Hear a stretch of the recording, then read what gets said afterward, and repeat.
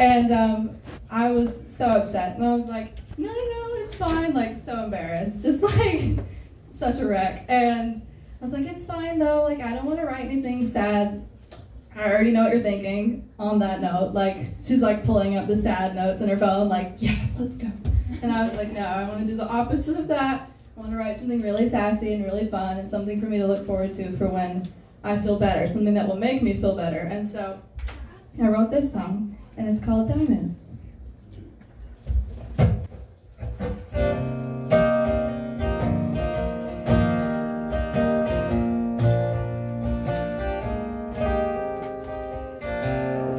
Don't know what happened.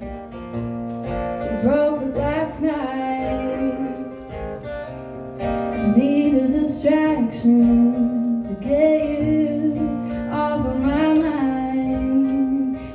Not cause I'm broken,